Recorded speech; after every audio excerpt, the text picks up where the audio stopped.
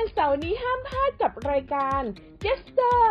Art Show เพราะโยจะพาคุณผู้ชมไปพบกับเบื้องหลังของการจัดนิทรรศการ Variety โย